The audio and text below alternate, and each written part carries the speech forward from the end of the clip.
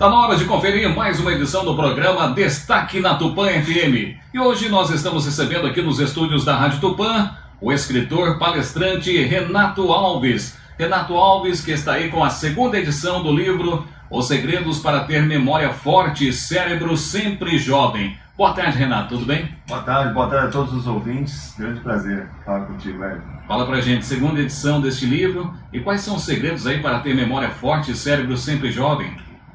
Lembrar é, é uma das maiores faculdades humanas, né? Sim. A gente brinca agora há pouco nos bastidores aqui, o que, o que você comeu no café da manhã, o que você é, comeu no almoço, o que você fez. Então, é, os segredos para você ter uma memória forte, um cérebro sempre jovem, é justamente isso, estar sempre reforçando aquilo que você aprende. Um exemplo, quando você termina o dia, é interessante, pessoas que têm dificuldade em lembrar nomes de pessoas, Sim. digamos, né? É, quando você termina o dia, você pode fazer um flashback tá, na sua cabeça é, das pessoas que você conheceu, o nome dessas pessoas, lembrar da fisionomia das pessoas, lembrar dos assuntos que você conversou com ela, que isso é uma forma de você dar a manutenção e formar memórias de longa duração. Então são, são segredos que ajudam a ter uma memória mais confiável, mais segura. Além de ser um excelente exercício para o cérebro, para a memória, né? Agora, qualquer pessoa sadia é capaz de ter aí uma boa memória? Sim, é in- interessante essa pergunta. As pessoas sadias, quem tem boa memória não pensa em memória. Ah. Quem tem boa memória nem se preocupa com memória. Ah, então, sim, as pessoas sadias elas, elas desfrutam de uma boa memória, mas às vezes elas acabam esquecendo alguma coisa. Às vezes a pessoa ela esquece onde colocou a chave, onde colocou o óculos, mas não é porque a memória é ruim ou falha, é justamente porque ela não teve uma estratégia para poder lembrar daquilo. Então, é, é, a organização ela ajuda nesse sentido. Por exemplo, chegar em casa todos os dias, colocar um objeto no mesmo lugar, tudo isso não é toque, não, não é transtorno obsessivo compulsivo. Simplesmente você ter um hábito, é, uma vida mais organizada evita esquecimentos e os seus, seus transtornos, né? Agora, no seu livro aqui tem a pergunta: Você tem medo de perder a memória? Pois é, essa pergunta é, foi uma pesquisa feita com jovens, é, inclusive dos, dos 21 aos 30 anos de idade, onde nós tivemos aí mais de 30% dos jovens entre os medo, entre as- os problemas do envelhecimento, a maioria tinha eh, tinha medo de perder a memória. Agora, como todos nós podemos prevenir o Alzheimer? Até você aborda no livro, né? Pois é, a gente é, aborda no livro, estive inclusive em Portugal recentemente, num congresso internacional é, de geriatria, falando justamente sobre isso, as formas de prevenir o Alzheimer. Você tem o Alzheimer no primeiro estágio, Sim. onde a pessoa não lembra de coisas comuns, assim, não lembra, por exemplo, onde colocou um objeto, às vezes não lembra do nome de uma pessoa. Nem sempre isso é Alzheimer, às vezes é estresse, é sobrecarga. tá? No segundo estágio, identifica- uma vez diagnosticado o Alzheimer, a pessoa começa a ter problemas de esquecimento de familiares, por exemplo.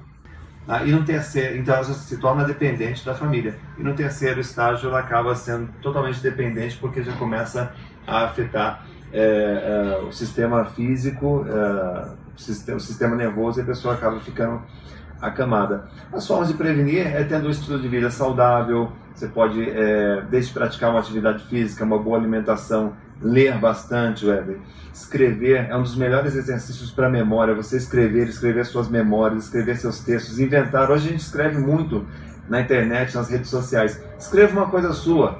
Ao invés de, de- ficar compartilhando o conteúdo dos outros, escreve o que você está pensando, a sua opinião sobre alguma coisa. Às vezes, para você escrever um texto com 50 palavras, você tem que abrir uns 500 arquivos na tua cabeça. E isso mantém o nosso cérebro mais ativo, mais jovem. Hoje a garotada fica muito tempo na internet, nas redes sociais também com muitas informações, mas geralmente elas esquecem é, é, das coisas rapidamente. Existe um grande problema entre os estudantes, né? O professor hoje em sala de aula... Seria ele- também a concentração que está acontecendo. Exatamente. É uma, é uma questão de sistema preferencial. Então, um professor, por exemplo, em sala de aula, ele vai ensinar português, matemática, mas ele vai ter que competir com Minecraft, com os games, Sim. com o YouTube, com a internet. Então, é, muitos estudantes não têm mais a motivação para os estudos. Cabe ao professor, aos pais, resgatar essa motivação, a importância, o valor da educação na vida dessas pessoas. Agora você aborda também no, no seu livro um método de treinamento para o cérebro que consiste em três planos a serem cuidados. Quais são esses planos? Primeira coisa é a prevenção da sua, da sua condição física, atividade física, boa alimentação, dormir é essencial. Tá? O segundo plano é você conhecer, é um autoconhecimento sobre o funcionamento da sua memória. E o terceiro plano é, são exercícios, técnicas de memorização, que aí é onde eu abordo com mais profundidade, não só no livro, mas nos cursos que eu faço, que já estamos hoje em 100 países com esse trabalho de memorização. No caso, seriam os métodos mnemônicos. São métodos mnemônicos, exatamente. São essas técnicas que eu, me ajudaram a conseguir o título de melhor memória do Brasil em 2006. Bom, entrando agora o segundo semestre, continuam aí os vestibulares. Tem uma dica também para os vestibulandos? Tem, tem sim. O pessoal que vai fazer vestibular, a melhor orientação é para que eles tenham sempre o cuidado de estudar e, ao término do estudo, tente explicar aquilo que aprendeu. Tá? Quando você consegue explicar, você tem a prova da memorização. Quando você não consegue explicar, você significa que aquele conteúdo não está na memória operacional. Então, o segredo é esse, é tentar explicar em primeiro lugar. Não conseguir explicar, tem que rever de novo, aí tem que mudar o método de estudo e a memorização pode ajudar muito nesse sentido. Portanto, nós estamos conversando no programa Destaque na Tupã FM com Renato Alves, escritor, palestrante. Renato Alves, que já está aí no seu oitavo livro, 20 anos trabalhando aí com a memória das pessoas. 20 anos já, Renato? 20 anos trabalhando nesse tema que eu adoro de paixão, que é falar sobre mentalismo, né? que é falar sobre memória.